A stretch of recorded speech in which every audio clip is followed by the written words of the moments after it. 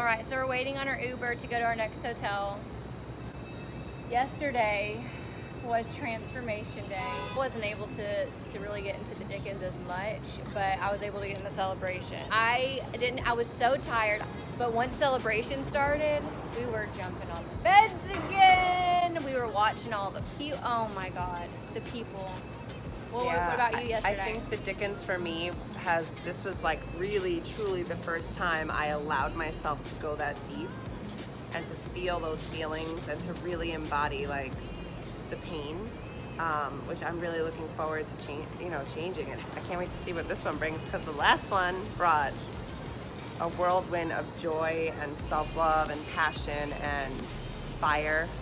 And now I just feel grateful to be able to experience this again Get ready! Not yet! Let the energy build! Feel it in your hearts! I see you! On the count of three, explode the sound! Oh, One, you have to do it. two, three, go!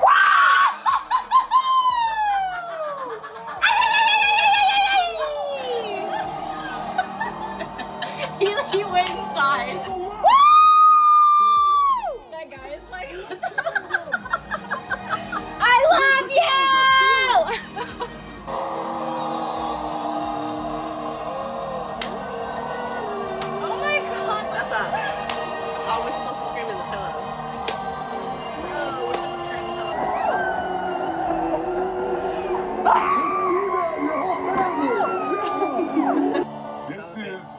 You unleashed.